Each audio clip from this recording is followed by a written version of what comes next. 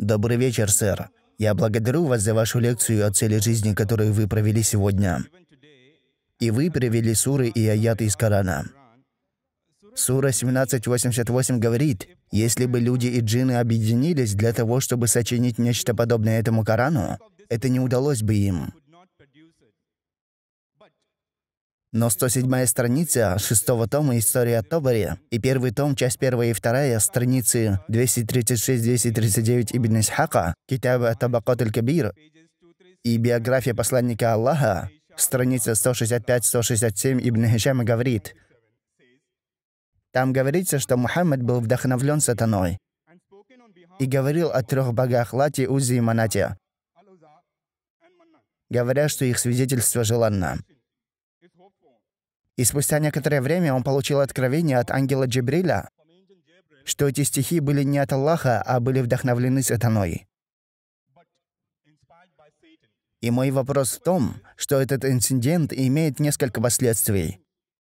Вызов Корана с приведением суры, подобные этому Корану, и на самом деле эти аяты были приняты во времена пророка Мухаммада. Это правильно? Что в свою очередь приводит к выводу, является ли остальная часть Корана от Аллаха или нет. «Брат, как тебя зовут?» «Я Дэниел, я студент, я изучаю книги». Брат Дэниел задал очень хороший вопрос. Он процитировал 17-ю суру Исра, 88-й аят, который говорит, если бы люди и джинны объединились для того, чтобы сочинить нечто подобное этому Корану, этого не удалось бы им. И это также повторяется в 52-й суре Ат-Тур в 34-м аяте, просто чтобы дополнить твои слова. Я привожу тебе больше ссылок. И он задает вопрос, цитируя Табари и так далее, что есть стих в Коране, который был от сатаны. Может быть, ты неправильно прочитал, но это было утверждение, что люди сказали, что эти слова из Корана исходят от сатаны. И после этого сразу же пришло откровение в 56-й суре Аль-Уака от 77 по 80 аяты, в которых говорится Воистину, это благородный Коран, находящийся в хранимом Писании. К нему прикасаются только очищенные. Он не спослан Господом миров. Этот аят пришел, чтобы сказать, что никто не может прикоснуться к Корану в Лаухиль Махфуз, в скрижалях.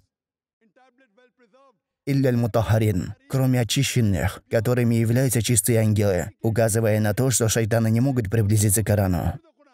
Поэтому эти аяты были ответом на утверждение мушриков Мекки, которые сказали, что сатана якобы вдохновил Мухаммаду о языческих богах. В ответ на это в Коране есть много различных аятов. Коран говорит в 4 суре Аниса, 82 аяте.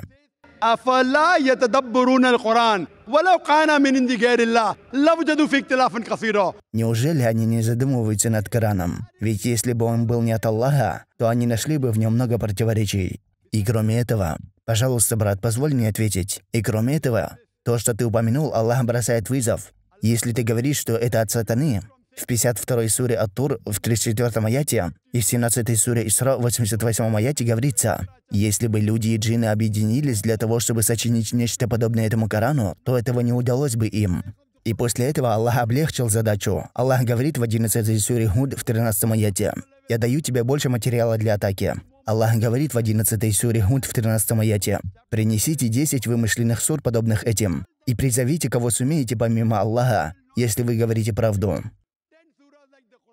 И затем Аллах облегчает задачу. Брат, ты хочешь слушать ответ или нет? Продолжайте, пожалуйста. Продолжайте. Пожалуйста, продолжайте. После этого я хотел бы добавить кое-что. Брат, это не время дебатов. Нет, сэр. Это время для ответов на вопросы. Ты закончил свой вопрос. Твоя очередь проходит. Теперь послушай мой ответ. Я должен добавить вопрос, тогда вы дадите ответ, который будет легче понять. Но почему ты не добавил его в начале? Потому что сейчас вы рассказываете что-то новое. Поэтому я должен обновить вопрос. Тогда встань в очередь и заново задай свой вопрос. Нет проблем. Иди в очередь и можешь добавить. Вы должны дать мне. Я помогаю тебе. Простите, сэр, можете продолжать.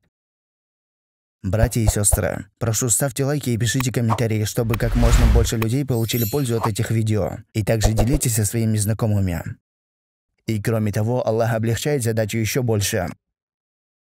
Аллах говорит в 10 суре Юнус в 38 аяте. Сочините хотя бы одну суру, подобную Корану. И также Аллах говорит в суре Аль-Бакра в 23-24 аяте.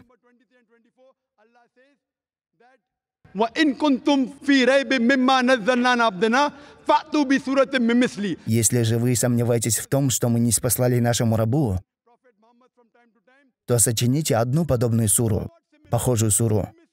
Не аналогичную, а похожую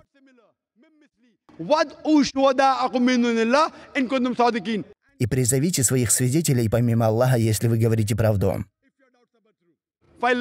Если же вы этого не сделаете, а ведь вы никогда этого не сделаете,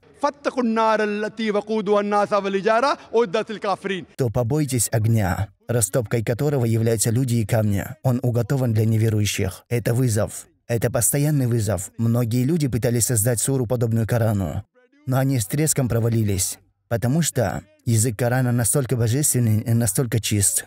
Не то, чтобы люди не пробовали. Но когда был неспослан Коран, арабский язык был на пике. Арабский язык был на своем пике. Арабы гордились своим языком. Аллах бросает им вызов. «Я не спаслал Коран на вашем языке». Попробуйте сочинить хотя бы одну суру, похожую суру, не идентичную. И некоторые суры из Корана едва ли состоят из трех аятов, едва ли из десяти слов.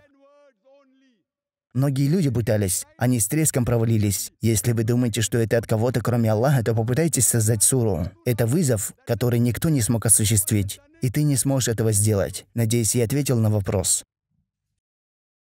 Ассаляму алейкум, братья и сестры. Это автор канала Призыв Дава. Я хочу обратиться к вам с просьбой поддержать мой канал финансово. Благодаря вашей поддержке вы станете причиной для наставления людей на прямой путь. Тем самым вы поддерживаете исламский дават. Аллах наградит вас за это. Ассаляму алейкум.